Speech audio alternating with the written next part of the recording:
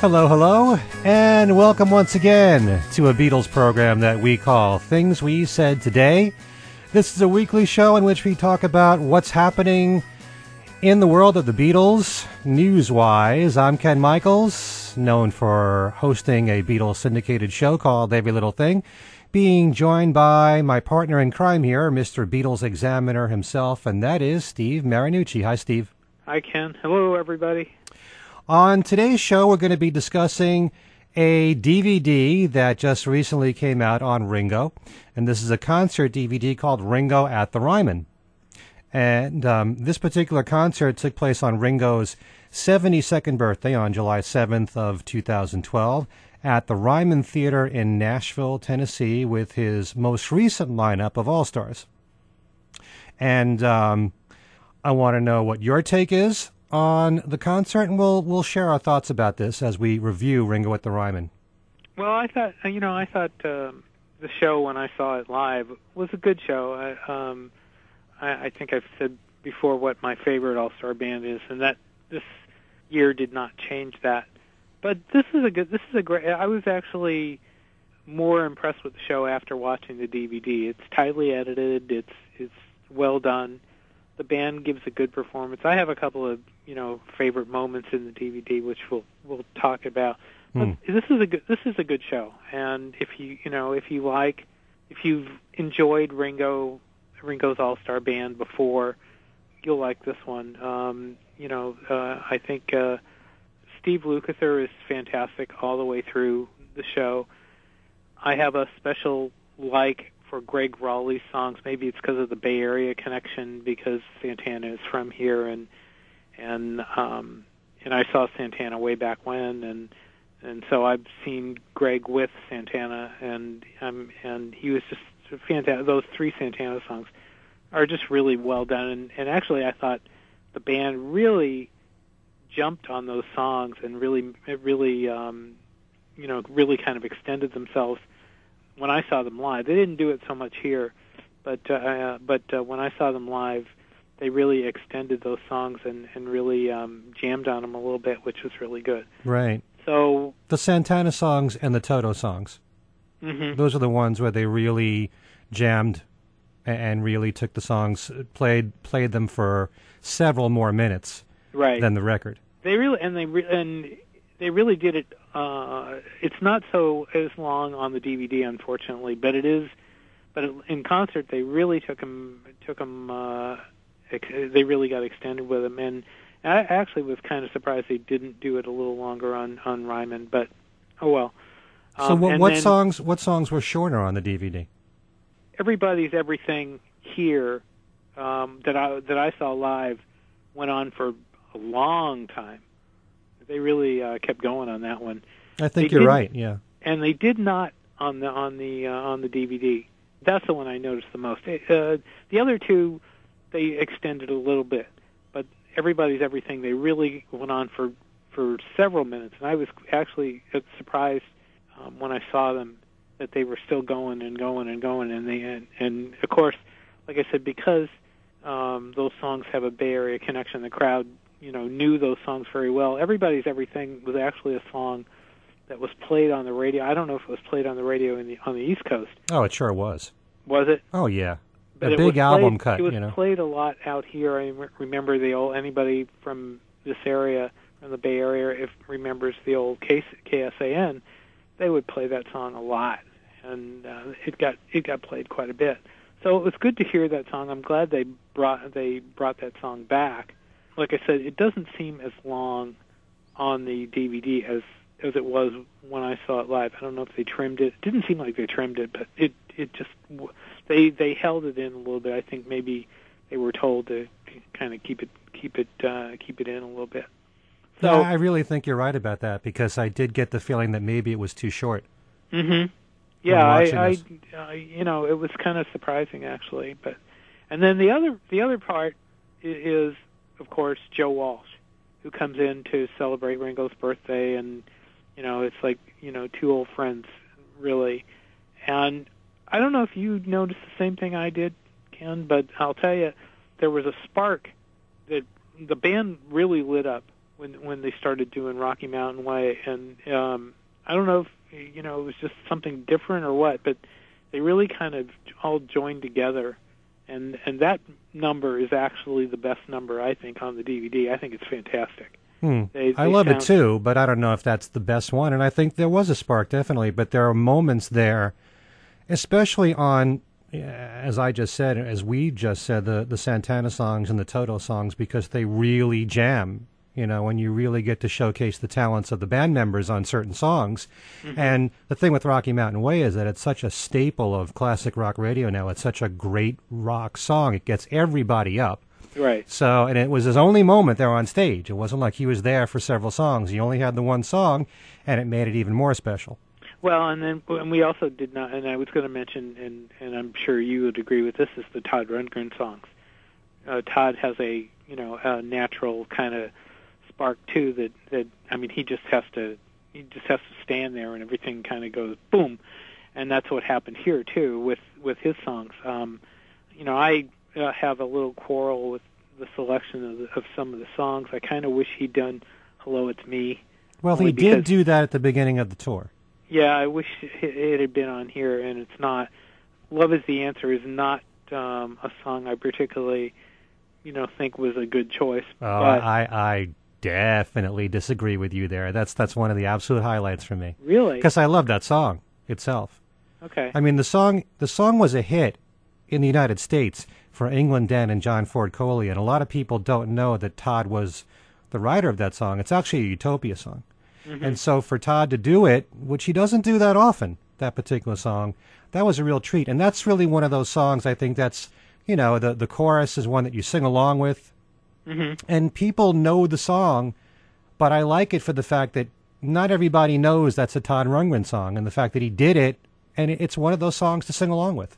yeah. No, I, I mean, I'll I'll concede that point to you. It's just personally, it's not the song uh, that I would have picked him to do. Um, you know, but that's you know that's me. Um, but I mean, there are so many other. I mean, uh, as is usually the case with Ringo and the All Star Band, they they pull out songs that you know that people know, and you know it's like you know um, Old Home Week, listening to the rundown of some of the songs that they do. Mm-hmm. Um, and I was going to say with, uh, and I don't know if I said this, but with Joe Walsh, I really wish that they would have uh, guests more often pop up. Maybe at some point, maybe you know, a couple of shows on the tour have have somebody join them hmm on stage like that, and uh, I think that would be kind of that would be even for just one song. I think it would be a great, it'd be kind of fun.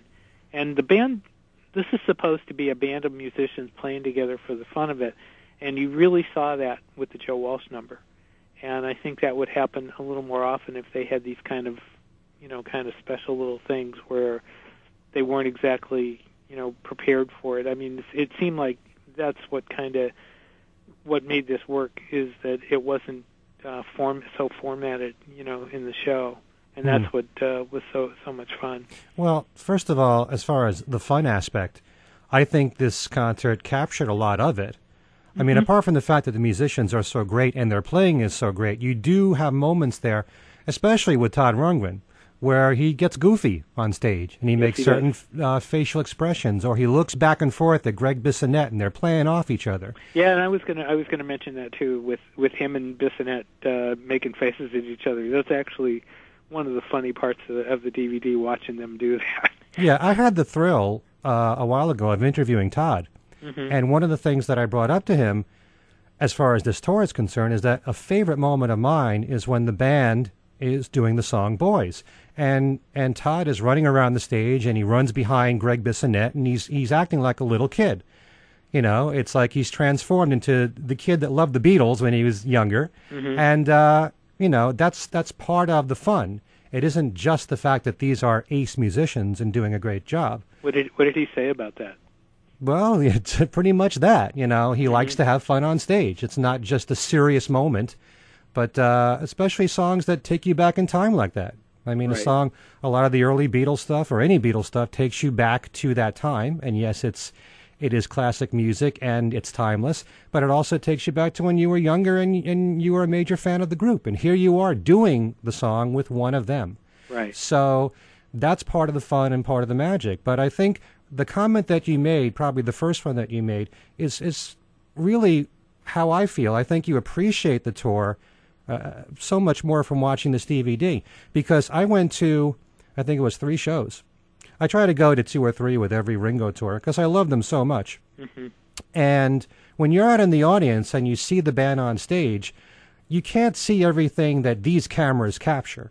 So you could see Gregg Rolie in front of the keyboards there, and you know he's playing, and you can hear his playing, but you don't see his hands on the keyboards, which is something that I really loved about this DVD. The camera work is extraordinary. Yeah, it is really good. I, I noticed that about the the, the keyboard, the uh, his hands on the keyboard too, which was really kind of nice. You know, he's known for playing the Hammond, the Hammond organ, and that's so much a part of his sound, and here are his hands up close playing it.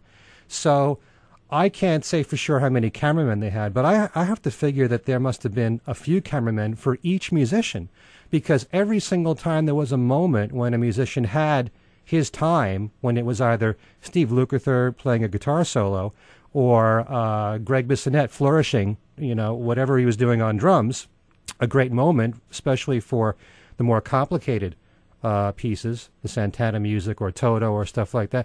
The camera was right on them. And if there were moments, like I said, when Todd and, and Greg or uh, Gregg Bissonette are bouncing off each other, the camera captured that. Everything was captured in this show.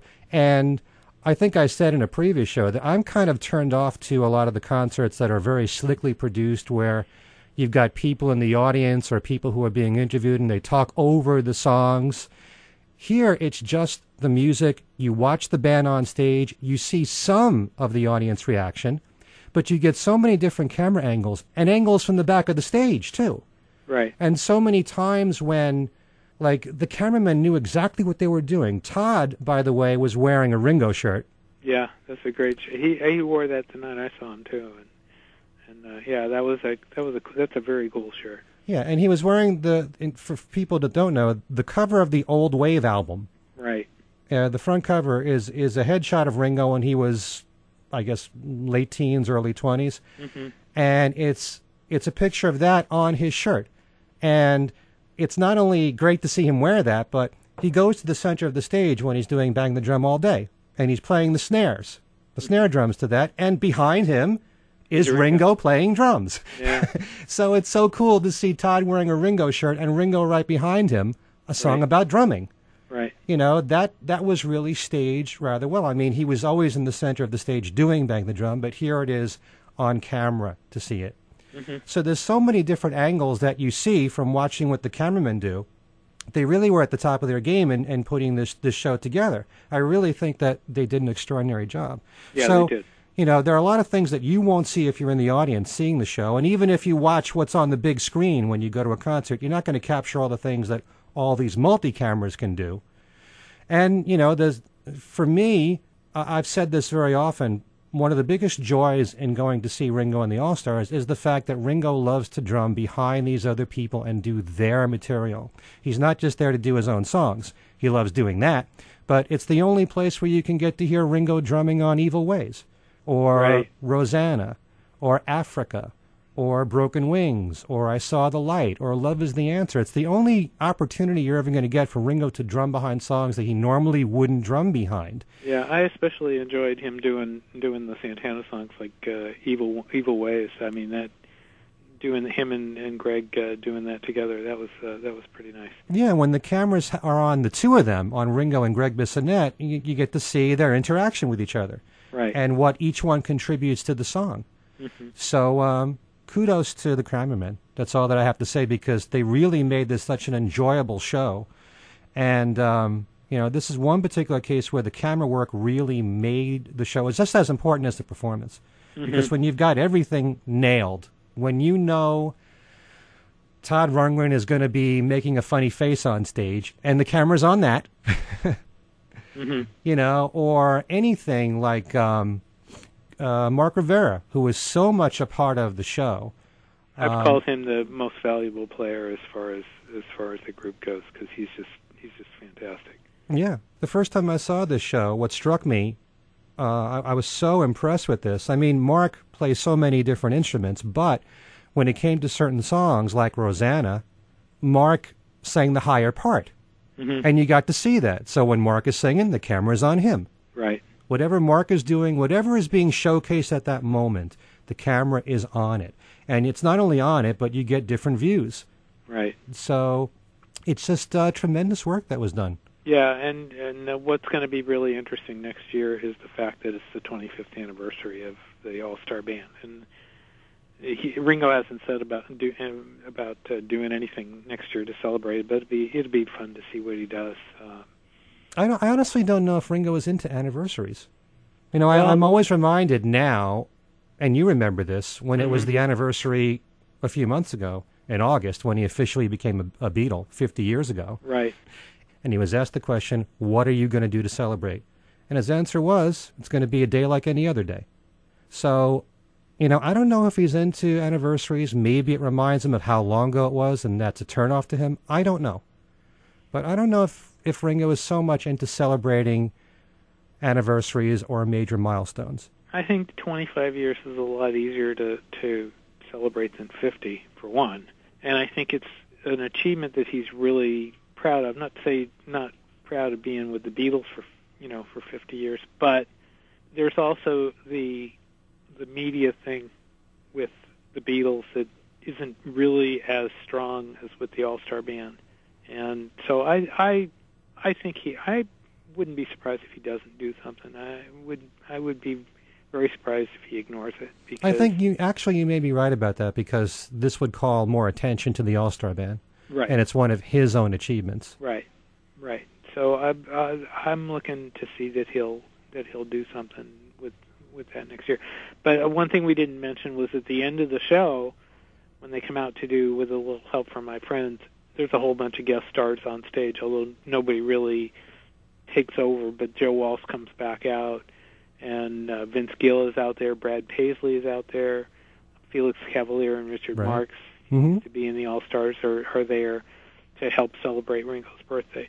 But that's really kind of a minor thing. I mean, really, the show the show as it stands is, you know, is the main thing here, and and it's a great. It's really, you know, as usual with Ringo, it's it's a good it's a good show.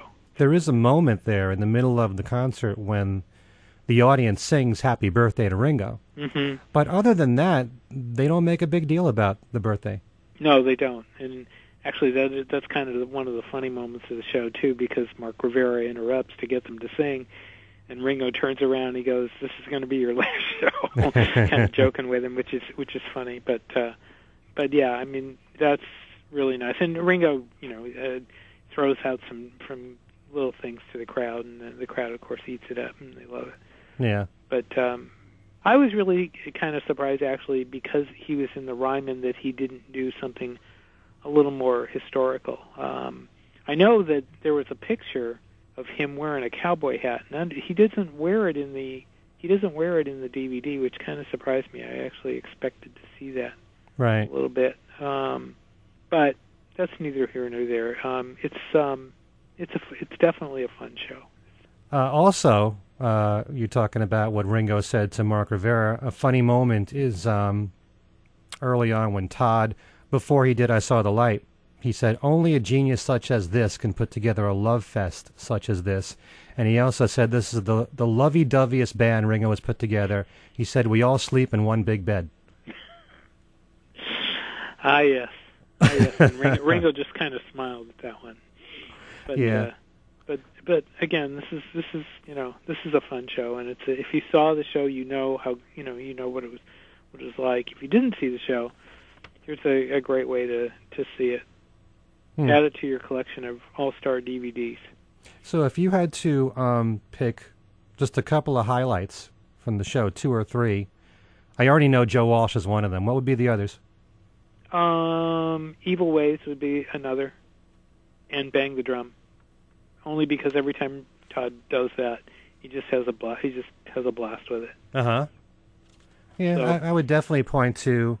I loved all of it, Mm. you know. But uh, "Love Is the Answer" is one of my favorite moments. But definitely the Santana songs and the Toto songs because I love to see the band really jam.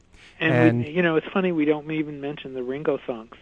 It was nice to see Ringo do Matchbox Right. open the sh- open the show, and Anthem is a great uh, he is a great song. And And Wings, Wings. is a good live song to do. hmm It really works well, and Steve Lukather's lead guitar solo is really nice in that song. hmm So, and the, about the only criticism that I would ever make about this particular DVD is that there are moments, especially on Anthem, when Ringo's vocals are just not mixed up hot enough.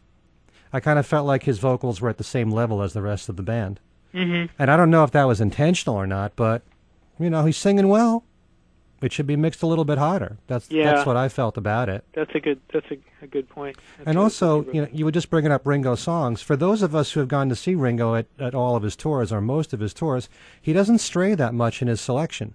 I mean, it's true. Yes, he did Matchbox here, and he did the two new songs with Wings and Anthem. But you know, he's done Yellow Submarine in every tour. He's done Photograph in every tour. With little help from my friends, I think that you know, we don't look to those songs as being high moments as people who go and see him all the time. If you if you're going to see Ringo for the first time or you've only seen him a few times, yes, they're wonderful moments.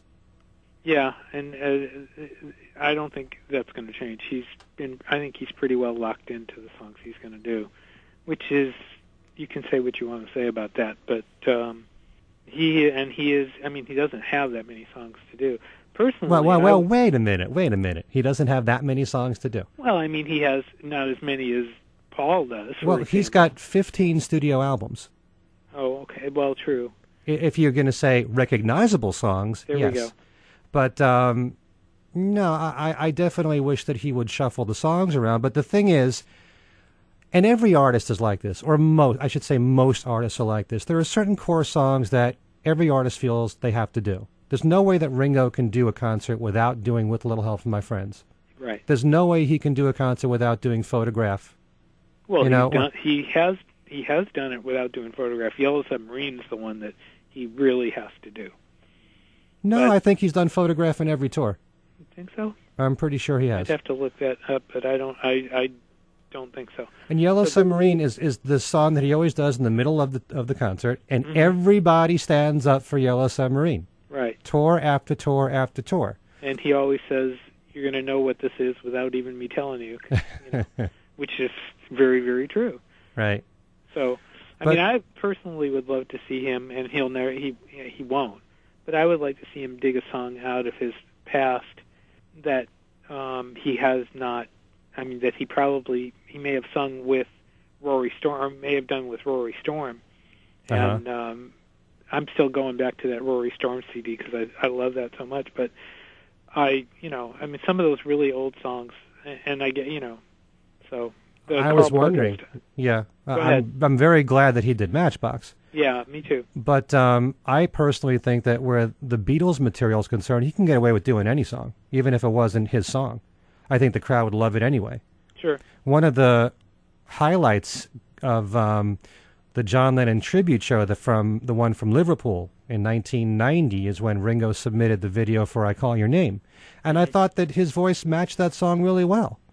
You know, I think if he was to break out into a song like that, the crowd would love it. Yeah. Oh, yeah. They would. They And would um, they would absolutely love it. They there's sure there's certain songs from his solo career that I think would translate very well as live songs. Certainly, something like "Goodnight Vienna" or um, "Snookeroo."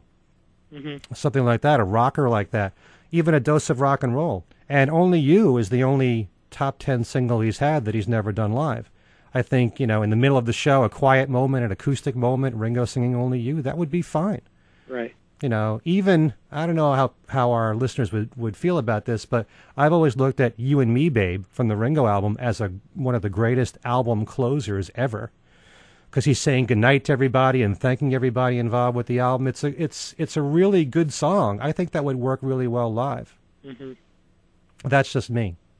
And you know, this is this may be a minor criticism, but I, I certainly think that I'm the greatest has hasn't really worked that well as a live song. Mm, I think he. I think he kind of has fun with that more than anything else. Um, It works. I, I, be- no, I, I like it. I mean, I, I think it's. I think it's kind of fun. But and he doesn't, you know, go longer with the song. He really cuts it short at the end. I think Mhm. it works because of of you know, the fact that John wrote it for him, and he mentions that he was born in Liverpool and that he's the greatest. So I think it's a song that we identify a lot with him.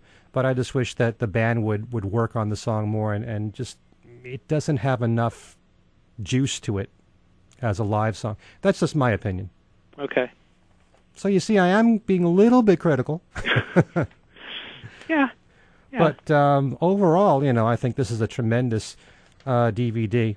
And I think that in, in a lot of ways, the DVDs of Ringo's concerts work so much better than the CDs because you don't really.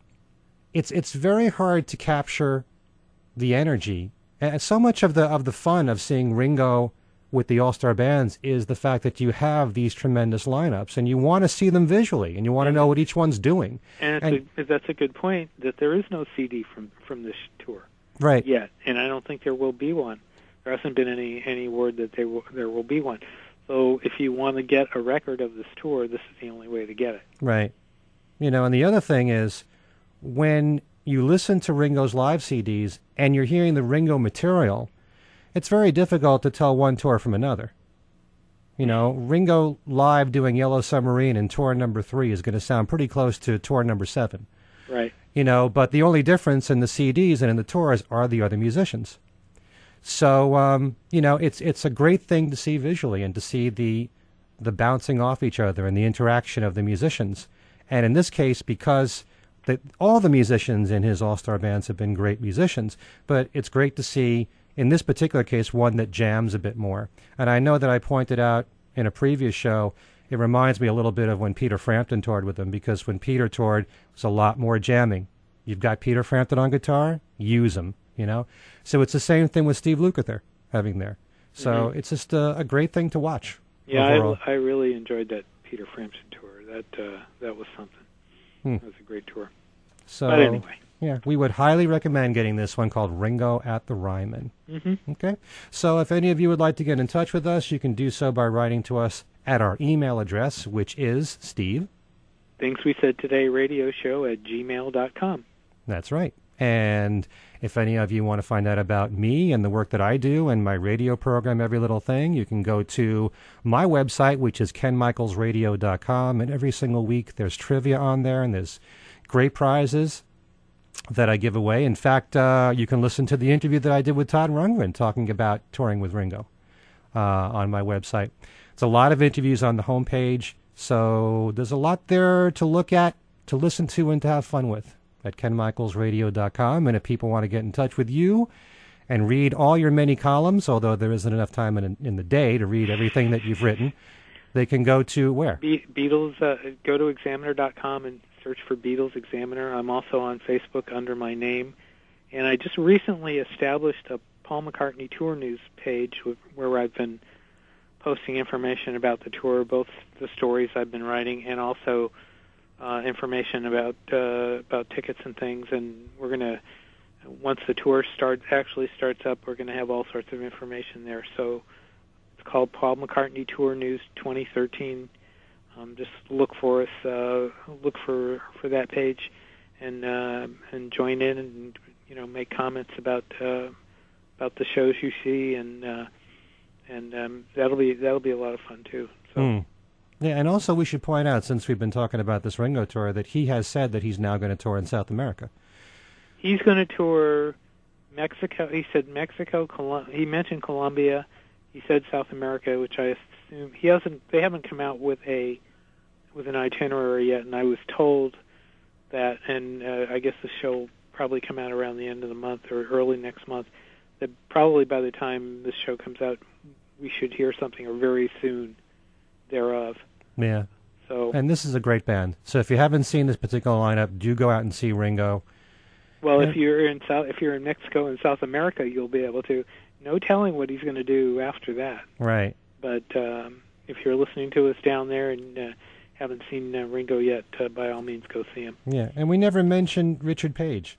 No, we did not. we did not mention Richard Page. Um, Who I'm, did it? I'm okay, kind of okay with Richard Page. Um, you know, Kyrie eleison is a great song, so I like I like that song. Um, but uh, and Broken Wings. and Broken Wings. But as far as the highlights of the, sh- of the show go, he's probably on the low end of my my highlights, but But you gotta you, you gotta say that his voice is amazing. I mean, Yeah, he sounds really so is. much like the record. It's really powerful. yeah, he's got a he's got a great voice. Right. He really does. And only here on this particular tour will you hear the songs Wings and Broken Wings on the same show. That's right. Isn't that something? That's right. and they're not about Paul McCartney either. So there. That's right. All right, so for the Beatles, things we said today, this has been Ken Michaels saying thanks for listening, and I'll see you next time. And this is Steve Marinucci for things we said today, and we'll see you next time.